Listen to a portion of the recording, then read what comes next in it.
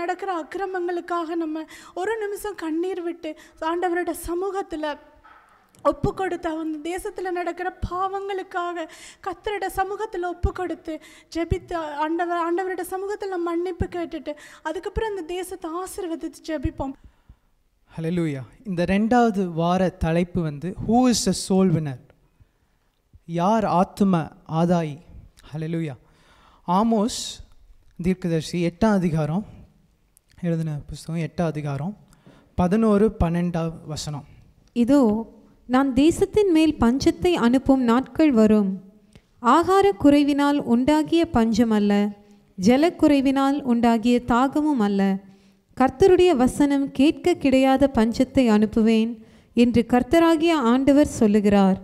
அப்பொழுது அவர்கள் கர்த்தருடைய வசனத்தை தேட ஒரு சமுத்திர ந சமுத்திரம் தொடங்கி மறு சமுத்திரம் மட்டும் வடதிசை தொடங்கி கீழ் திசை மட்டும் அலைந்து திரிந்தும் அதை கண்டடையாமற் போவார்கள். அமேன் நான் மறுபடியும் அந்த பதினோராம் வசனத்தை வாசிக்கிறேன். இதோ நான் தேசத்தின் மேல் பஞ்சத்தை அனுப்பும் நாட்கள் வரும். ஹலெலூயா ஆகார குறைவினால் உண்டாகிய பஞ்சம் அல்ல ஜலக்குறைவினால் உண்டாகிய தாகமும் அல்ல. கர்த்தருடைய வசனம் கேட்க கிடையாத பஞ்சத்தை அனுப்புவேன் என்று கர்த்தராகிய ஆண்டவர் சொல்லுகிறார். இதில் ஒரு பஞ்சம் என்ற ஒரு வார்த்தை இருக்கு இல்லையா?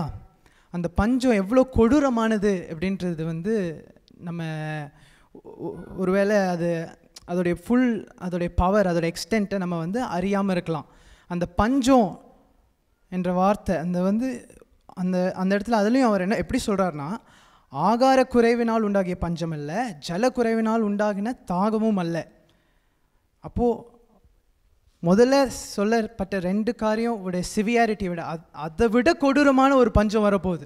ஆகாரம் குறைவுனா ஒரு பஞ்சம் வரும் அது பஞ்சம் வரலாம் தண்ணீர் குறைவினால் ஒரு பஞ்சம் வரலாம் அதை விட கொடூரமான ஒரு பஞ்சம். அது என்ன பஞ்சம் என்றால் கர்த்தருடைய வசனம் கேட்க கிடையாத பஞ்சத்தை அனுப்புவேன். அப்போது ஒரு ஒரு நாளும் நம்ம பஞ்சத்தை அனுபவித்ததில்லையே. அப்போ பஞ்சம்ன்ற ஒரு நில நிலைமை வந்ததுன்னா ஒரு நாட்டுக்கு வந்ததுன்னா அது எப்படிப்பட்டதாக இருக்கும் அப்படின்னு சொல்லிட்டு நான் யோசித்து பார்த்தேன். இப்போ யோசித்து சில ஹிஸ்ட்ரியில் இது இதுக்கு முன்னாடி நடந்திருக்கிற சில பஞ்சங்களை நான் யோசித்து பா அதை நான் தேடி ஆராய்ச்சி பண்ணி பார்க்கும்போது ஆகார பஞ்சம் அயர்லாந்து தேசத்தில் ஆயிரத்தி எண்ணூற்றி நாற்பத்தஞ்சாம் வருஷம் வருஷம் நாலு வருஷம் வந்து பஞ்சம் வந்திருக்கு. அந்த அயர்லாந்து தேசத்தில் வந்து பொட்டேட்டோ வந்து ரொம்ப அவங்க எல்லாரும் சாப்பிடுவாங்க. அப்போது பொட்டேட்டோ பிளைட் வந்து பொட்டேட்டோ ஃபுல்லாக அழிச்சு போட்டுருச்சு. அப்போது பொட்டேட்டோ இல்லாமல் நாலு வருஷம் அயர்லாண்டில் இறந்து போனவங்களுடைய எண்ணிக்கை one point five million. In eighteen forty five பஞ்சம் சாப்பாட்டு பஞ்சம் potato இல்லைன்றதுனால one point five million people இறந்துட்டாங்க. அதே போல் எகிப்து தேசத்தில் நைல் நதி இருக்குது அந்த நதியை வச்சு தான் அவங்க எல்லா காரியங்களும் பண்ணுவாங்க. அது தண்ணீருக்குரிய பஞ்சம் வந்து அந்த ஆறே வற்றி போயிடுச்சு இப்போ வற்றி போனது ரெண்டு வருஷம். அதில் ஹண்ட்ரட் தௌசண்ட் டெத் டோல் வந்து ஹண்ட்ரட் தௌசண்ட் பீப்புள் இன்னொரு ஃபேமைன் ப்ளஸ் ட்ரவுட் அதாவது தண்ணீருக்குரிய பஞ்சமும் ஆகாரத்துக்குரிய பஞ்சமும் சேர்ந்து வந்தது சீன தேசத்தில். அப் கிட்டத்தட்ட முப்பது மில்லியன் பேர் இறந்து போயிட்டாங்க. அப்போது இந்த பஞ்சம்ன்றது எவ்வளோ ஒரு கொடூரமான காரியம் அப்படின்றத குறிக்கிறதற்கு இது இவ்வளோ இந்த சாப்பாடு பஞ் இந்த ஆகாரத்து பஞ்சமும் இந்த தண்ணீர் பஞ்சமும் நம்மளுக்கு காட்டுது.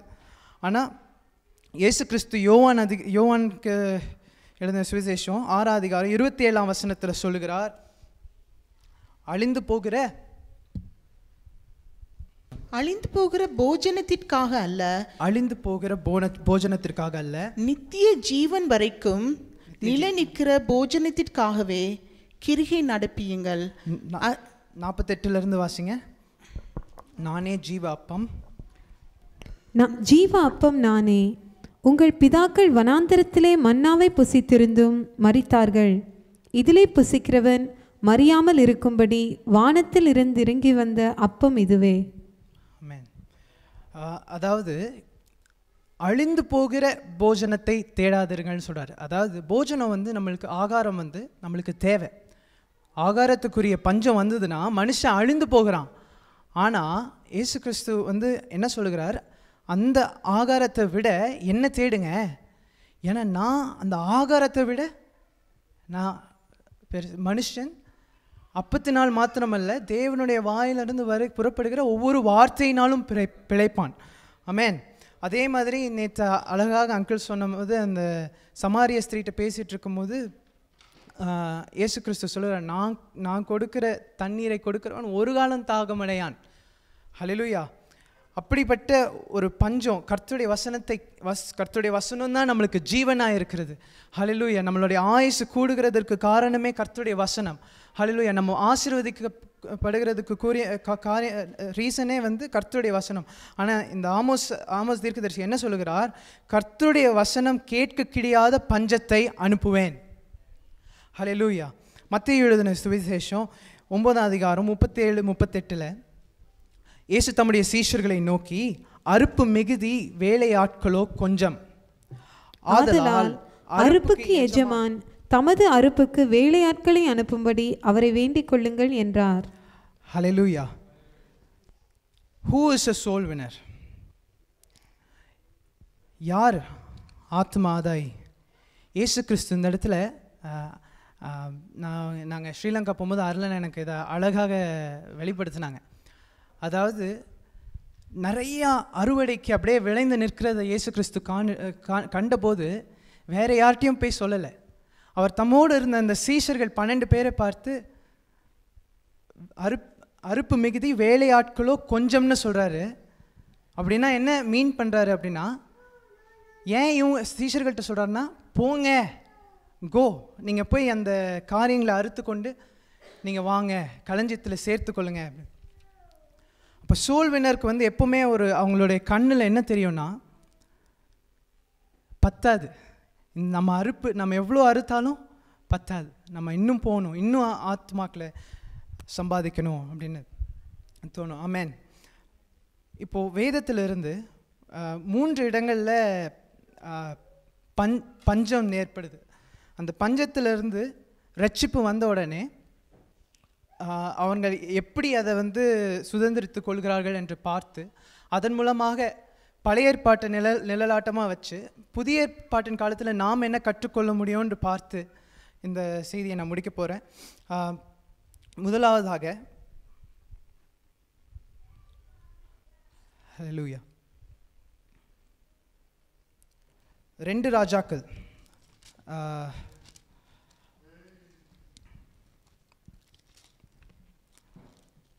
ஆறாம் அதிகாரம்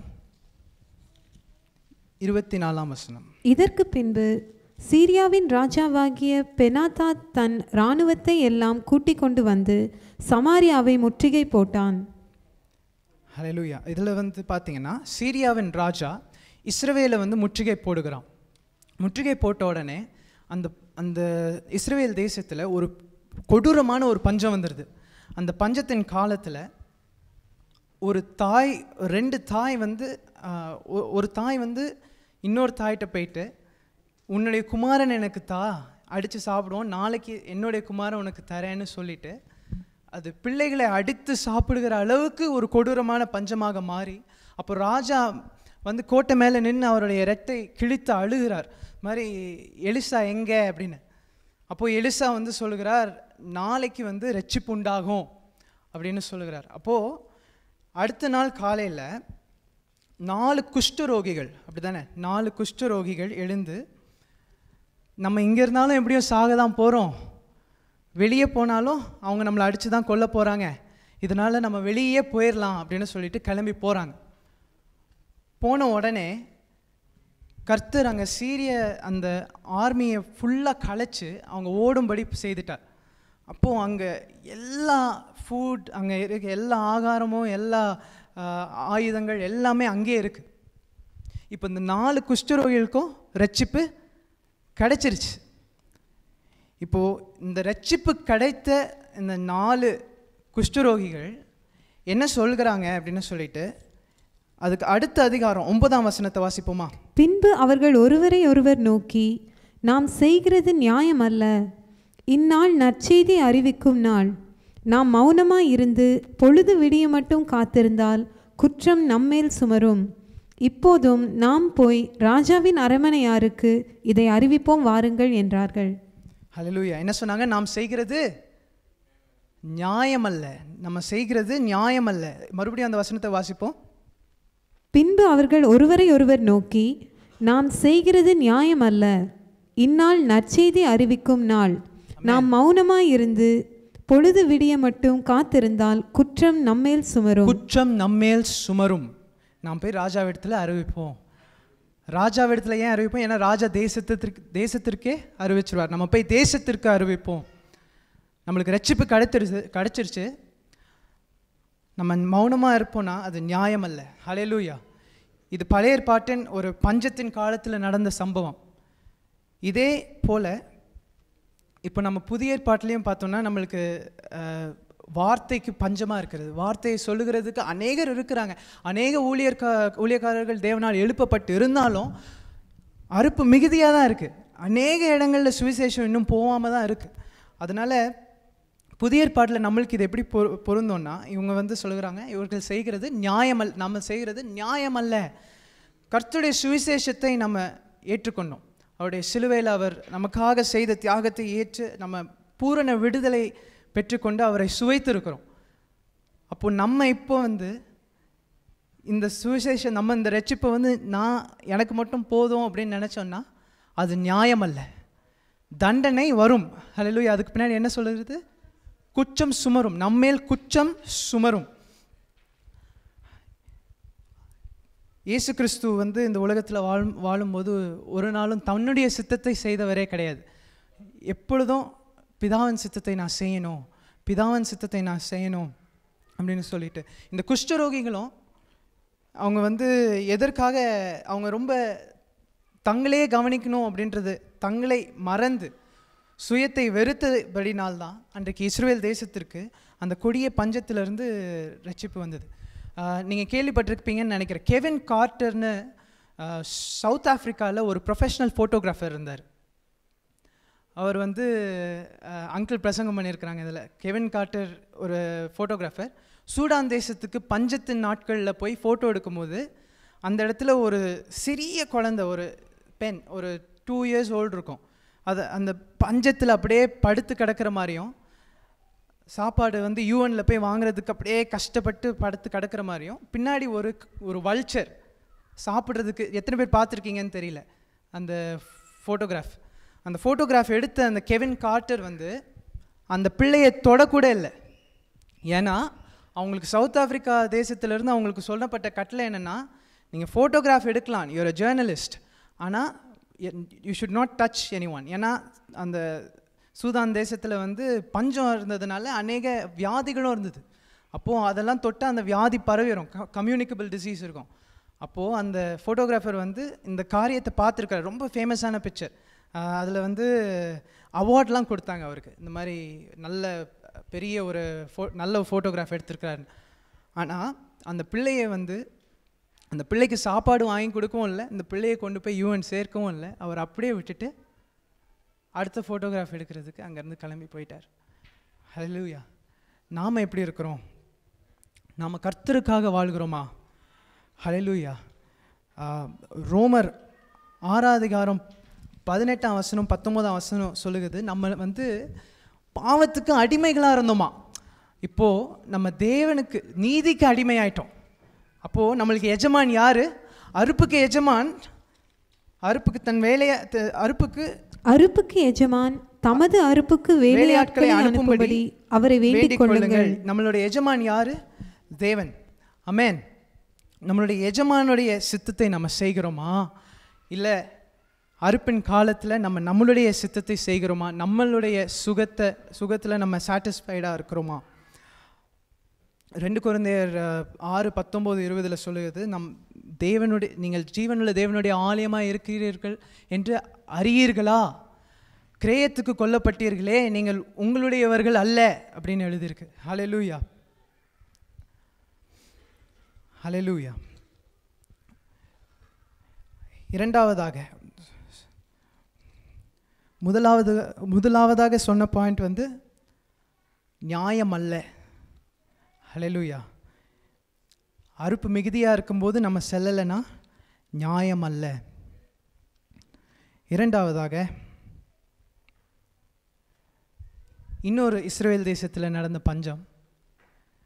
நியாயாதிபதிகளின் புஸ்தகம் ஆறாம் அதிகாரம் ஆறாவது வசனம். இப்படி மீதியான் மீதியானியராலே இஸ்ரவேலர் மிகவும் சிறுமைப்பட்டார்கள். அப்பொழுது இஸ்ரவேல் புத்திரர் கர்த்தரை நோக்கி முறையிட்டார்கள். மிகவும் சிறுமைப்பட்டார்கள் அப்படின்ற வார்த்தை இங்கிலீஷில் வந்து கிரேட்லி இம்போவரிஸ்ட் அப்படின்னு இருக்கு அப்படின்னா அந்த காலத்தில் கொடிய பஞ்சம் உண்டாயிருச்சு. மீதியான்கள் வந்து எல்லாம் அழுத்து போட்டு அழுத்து போட்டு போனதுனால கொடிய பஞ்சம் உண்டாயிருச்சு. அதனால தான் கிதியோன் வந்து என்ன பண்ணுகிறாரு? பதினோராம் வசனம் பின்பகுதி. அதற்கு பின்பு கர்த்தருடைய தூதனானவர் வந்து அபியேஸ்ரியானின் எனான யோவாசின் ஊராகிய ஒப்ராவில் இருக்கும் ஒரு கர்வாலி மரத்தின் கீழ் உட்கார்ந்தார். அப்பொழுது அவனுடைய குமாரன் கிதியோன் கோதுமையை மீதியானரின் கைக்கு தப்புவிக்க தப்புவிக்கிறதற்காக ஆலைக்கு சமீபமாய் அதை போரடித்தான். பஞ்ச காலத்தில் கொஞ்சம் கொஞ்சம் மீதி இருக்கிற கோதுமைகளை எடுத்து கொண்டு போய் போர் அடித்து கொண்டு இருக்கிறார் கிதியோன். இப்போ கிதியோன் மூலமாக கர்த்தர் வந்து இந்த பஞ்சத்திலிருந்து இஸ்ரவேலை ரட்சிக்க ஒரு வ- வழி உண்டு பண்ண போகிறார். இந்த சூழ்நிலையில் கர்த்தர் வந்து கிதியோனை வந்து கூப்பிடும்போது நீ ரட்சிக்க அவரை தெரிந்து கொள்ளும்போது அவர் என்ன சொல்கிறார்னா பதினைந்தாவது வசனம். அதற்கு அவன் ஆ என் ஆண்டவரே நான் இஸ்ரவேலை எதினாலே ரட்சிப்பேன். இதோ மனாசேயின் என் குடும்பம் மிகவும் எளிது எளியது. என் தகப்பன் வீட்டில் நான் எல்லாரிலும் சிறியவன் என்றான். ஹalleluya என் தகப்பன் வீட்டில் நான் எல்லா எல்லாரிலும் சிறியவன். இதே தான் எரேமியாவை கூப்பிடும்போது நான் சொல்லுகிறேன் சிறியவன் சொன்னேன். உடனே சிறியவன் என்று சொல்லாதே அப்படின்னு கர்த்தர் சொல்வார். அப்போது அநேக நேரங்களில் கர்த்தர் நம்மளை வந்து அறுப்பு மிகுதியாக இருக்குது வான்னு கூப்பிடும்போது வேலையாட்கள் கொஞ்சமாக இருக்கிறாங்க. நீ தேவை நீ தேவைன்னு கூப்பிடும்போது நம்ம அநேக சாக்கு போக்கு சொல்லுகிறோம். எனக்கு அங்கிள் அழகாக ப்ரேயரில் சொன்னாங்க. எக்ஸ்கியூசஸ் வந்து நம்ம சொல்லக்கூடாது. அண்டவரே நாங்கள் எக்ஸ்கியூசஸ் சொல்லக்கூடாது. அன்வில்லிங்காக இருக்கக்கூடாது. நம்முடைய காரியத்திற்காக நாங்கள் எழும்பி போகணும். என்று சொல்லி நம்ம ஜெபித்தோம். மோசையும் பார்த்தீங்கன்னா இதே தான் பண்ணுகிறார். அஞ்சு தடவை தேவனை வந்து யாத்ராங்கமத்தில் வந்து பார்த்தீங்கன்னா மூணாம் அதிகாரத்தில் வாசிச்சுட்டு நாலாம் அதிகாரம் வரைக்கும் வாசிச்சுட்டு வந்தீங்கன்னா அஞ்சு தடவை கர்த்தர் வந்து எக்ஸ்கியூசஸ் இருக்கோம் ஃபஸ்ட்டு தடவை சொல்லுகிறார் நான் எம்மாத்திரம். ரெண்டாவது தடவை பதி பதினோராம் வருஷம் மூணாம் அதிகாரம் பதினோராம் வருஷத்தில் நான் எம்மாத்திரம். நான் யாரும் இல்லை. ரெ- பதிமூணாம் வசனத்தில் வந்து பதில் இல்லை. என்கிட்ட வந்து கர்த்தர் யார் யார் உன்னை அனுப்புனதுன்னு கே பதில் இல்லை. மூன்றாவது தடவை நா நாலாம் அதிகாரம் ஒன்றாம் வசனம் என்னை நம்பார்கள். என்னை நம்பவே மாட்டாங்க.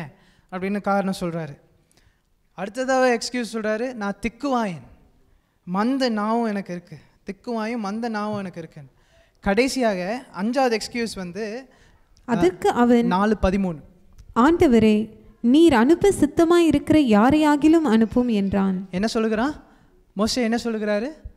நீர் அனுப்பின சித்தமாகின யாரையாகிலும் அப்படின்னா என்ன அர்த்தம்? என்னை தவிர என்னை தவிர யாரையாகிலும் நீர் அனுப்பும். நான் போகமாட்டேன் என்னை தவிர உமக்கு அனுப்ப சித்தமான யாரையாகிலும் அனுப்பும். இந்த மாதிரி தான் நம்ம அநேக நேரத்தில் சாக்குப்போக்கு சொல்லுகிறோம். ஆனால் கர்த்தருடைய கரம் அன்றைக்கு கிதியோனோடு இருந்த அந்த பஞ்சத்திலிருந்து அந்த தேசத்தை ரட்சித்தது. இதே போல் ஏசாயாக்கும் ஒரு அழைப்பு வருகிறது. ஏசா ஏசா ஏசாயா ஆறாவது அதிகாரம் எட்டாவது வசனம் நான் வாசிக்கிறேன். பின்பு யாரை நான் அனுப்புவேன்? யார் நமது காரியமாய் போவான் என்று உரைக்கிற ஆண்டவருடைய சத்தத்தை கேட்டேன். அதற்கு நான் இதோ அடியேன் இருக்கிறேன் என்னை அனுப்பும் என்றேன். அமேன் இதோ அடியேன் இருக்கிறேன் என்னை அனுப்பும். ஹalleluya. இந்த காரியத்திலிருந்து இரண்டாவது காரியம் எக்ஸ்கியூஸ் இதிலிருந்து நம்ம என்ன கற்றுக்கொள்ளணும்னா நம்ம சாக்கு போக்கு சொல்லக்கூடாது. நம்மளையே அர்ப்ப அர்ப்பணிக்கணும். முதலாவது நம்ம என்ன பார்த்தோம்னா நம்ம ரட்சிக்கப்பட்டோம். கர்த்தருடைய சுவிசேஷத்தை ஏற்றுக்கொண்டு அவருடைய ரட்சிப்பில் சந்தோஷமாக ஹalleluya எல்லா துக்கங்களையும் இயேசு கிறிஸ்து சுமந்து கொண்டார். எல்லா சாபத்தும் சாபத்தையும் அவர் சுமந்து கொண்டார். சந்தோஷமாக இருக்கிறோம். நம்ம போய் சுவிசேஷத்தை சொல்லலை அப்படின்னா இந்த அறுப்பு மிகுதியான காலத்தில் நம்மளும் போலனா நியாயம் அல்ல இரண்டாவது காரியம் நம்ம சண்டே மெசேஜில் பார்த்து பார்த்தது போல் சாக்கு போக்கு சொல்லக்கூடாது. நான் போகிற ஆண்டவரே என்று சொல்லி நம்மளை ஒப்பு கொடுக்க வேண்டும். மூன்றாவது காரியம் அறுப்பு மிகுதியாக இருக்கிறது வேலையாட்கள் குறைவாக இருக்கிறாங்க. இப்போ எல்லாத்தையும் அறுத்து முடிக்கலைன்னா அந்த அந்த தானியங்கள் என்ன ஆகும்? என்ன ஆகும்? அடுத்த காலம் வந்து சீசன் வந்து மாறி மாறி வரும். ஆட்டம் சம்மரில் வந்து அறுப்பின் காலம் முடிஞ்ச உடனே கடைசியில் குளிர் காலம் வரும் ஒரு நாளில். வந்து அந்த கோதுமை எல்லாம் அழிந்து போகும். அது ராட் ஆயிரும் அது அழுகி போயிடும். அப்போ மூன்றாவதாக ஏர்ஜென்சி ஆண்டவர் வந்து ஒரு பதட்டத்தில் சொல்லுகிறார். அறுப்பு மிகுதி வேலையாட்கள் குறைவு. டைம் ஆயிட்டுருக்கு. போய் அறுக்கலைன்னா அறு அறுவடை எல்லாம் அழிஞ்சு அப்போது ஒரு ஏர்ஜென்சி அவசரம். டைம் இல்லை. ஹalleluya இதற்கு ஆதாரமாக பழைய ஏற்பாட்டில் யோசிப் ஒரு பஞ்சம் வரப்போகுதுன்று அவன் காண்கிறான். அவன் கண்ட உடனே அவன் அழகாக ஒரு அந்த ராஜாவுடைய தரிசனத்தை விளங்கப்படுத்தி அதற்கு ஞானமாக ஒரு ஒரு சொல்யூஷனையும் கொடுக்குறான். ஒரு இதை எப்படி வந்து நம்ம சரியாக கவனிக்க வேணும்னு சொல்லிட்டு ஒரு சொல்யூஷன் அப்போது யோசேப்புக்கு வந்து அந்த ஞானம் இருக்குது. காலத்தை பிரயோஜனப்படுத்திக் கொள்கிற ஒரு ஞானம். ஹலெலூயா நம்மளுக்கும் இதே போல் காலத்தை பிரயோஜனப்படுத்திக் கொள்கிற ஒரு ஞானம் வேணும். சங்கீதம் தொண்ணூறாம் சங்கீதம் பன்னெண்டாம் வசனம். நாங்கள் ஞான இருதயம் உள்ளவர்கள் ஆகும்படி எங்கள் நாட்களை என்னும் அறிவை எங்களுக்கு போதித்தருளும். ஞான? இருதயம் உள்ளவர்கள் ஆகும்படி ஞான இருதயம் உள்ளவர்களாகும்படி. எங்கள் நாட்களை என்னும் அறிவை எங்களுக்கு போதித்தருளும். ஹalleluya ஓகே ஸோ கொலோசியர் நாலாம் அதிகாரம் ஐந்தாவது வசனத்தில் புறம்பே இருக்கிறவர்களுக்கு முன்பாக ஞானமாய் நடந்து காலத்தை பிரயோஜனப்படுத்திக் கொள்ளுங்கள். புறம்பே இருக்கிறவர்களுக்கு முன்பதாக ஞானமாய் ஞானமாய் நடந்து காலத்தை பிரயோஜனப்படுத்திக் கொள்ளுங்கள். எபேசியர் அஞ்சு பதினாறு நம்ம எல்லாருக்கும் தெரிஞ்ச நாட்கள் பொல்லாதவைகளான ஆனதால் காலத்தை பிரயோஜனப்படுத்திக் கொள்ளுங்கள். பிரயோஜனப்படுத்திக் கொள்ளுங்கள். அமேன் கர்த்தர் நம்மளை ஆத்தும ஆதாயங்களாக அழைத்திருக்கிறார். அறுவடை மிகுதி வேலையாட்களோ? கொஞ்சம். வேலையாட்கள் கொஞ்சமாக இருந்ததுனால தான் பஞ்சம் உண்டாகுது. அந்த இடத்துல கர்த்தருடைய வசனம் கேட்க கிடையாத பஞ்சத்தை அனுப்புவேன் அப்படின்னா என்ன? வேலையாட்கள் குறைவாக இருக்கிறாங்க. பத்தலை. ரோமர் பத்தாம் அதிகாரம் பதிமூணுலேருந்து பதினஞ்சு வாசிச்சோன்னா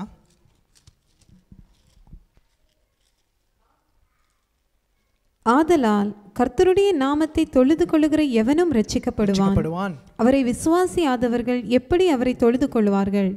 அவரை குறித்து கேள்விப்படாதவர்கள் எப்படி விசுவாசிப்பார்கள்? பிரசங்கிக்கிறவன் இல்லாவிட்டால் எப்படி கேள்விப்படுவார்கள்? பிரசங்கிக்கிறவர்கள் இல்லை அதனால தான் வசனத்துக்குரிய பஞ்சம் உண்டாகுது. ஹலெலூயா அதனால் நமக்கு ரட்சிக்கப்பட்ட நம்ம நம்ம ஆண்டவருடைய சுவிசேஷத்தை அறிவிக்கலைன்னா அது நியாயம் அல்ல நம்ம சாக்கு போகக்கூடாது சொல்லக்கூடாது. ஆண்டவரை என்னையும் பயன்படுத்தும். ஆண்டவரை என்னை கொண்டு உமால் என்ன செய்ய முடியுமோ அந்தவரை அதை வச்சு ஆண்டவரை என்ன இந்த பாத்திரத்தை பயன்படுத்தி ஆண்டவரை ஆத்மாக்களை உடைய ராஜ்யத்துக்கு சேர்த்துக்கொள்ளும். அப்படின்னு சொல்லி நம்ம ஆண்டவருக்கு ஒப்பு கொடுக்க வேணும் மூன்றாவதாக urgency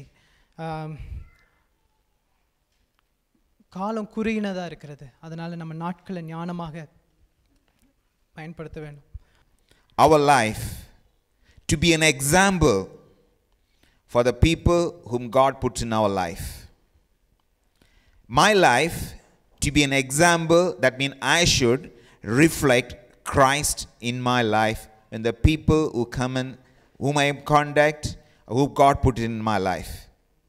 So for that, whatever the hinders, for I am not able to reflect the, the true love of God in my life. What is the hinder that what I'm going through tonight, this evening time? We are going to submit those things in the hand of Almighty God. Whatever the chain the enemy is trying to bring, not only enemy, sometimes we put the chain in ourselves. It can be anything. It can be busyness of our work. It can be sometimes laziness or it can be some other excuse. Tonight, by the power of God, by the power of the Holy Spirit which dwell in this place, we are going to break the chains.